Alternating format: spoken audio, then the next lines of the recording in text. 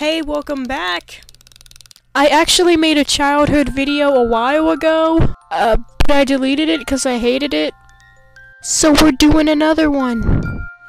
Okay, so I was a pretty okay child growing up.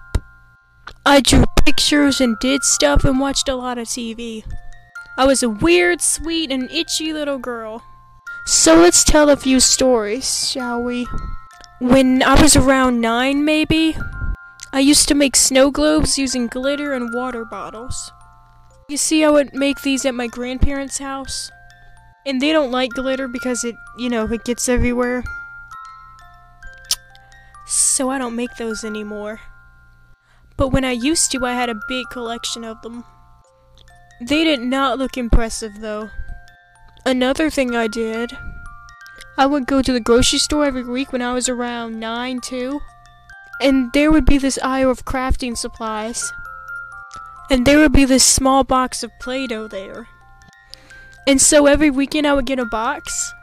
And I would spend all weekend making Play-Doh figures of cartoon characters. And the next weekend when I would come over, and the figures would be dry and I'd have a new box. I did this cycle for a year maybe. Then I stopped. Oh, and my grandmother kept all the figures I made. But I think they're gone now. Okay, one last story. When I was around 7 and 8, I used to cross my eyes a lot. I did it all the time. I thought it was a superpower.